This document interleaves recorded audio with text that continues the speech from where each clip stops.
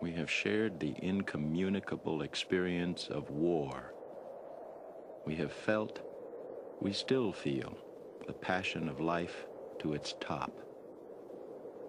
In our youths, our hearts were touched with fire. Oliver Wendell Holmes.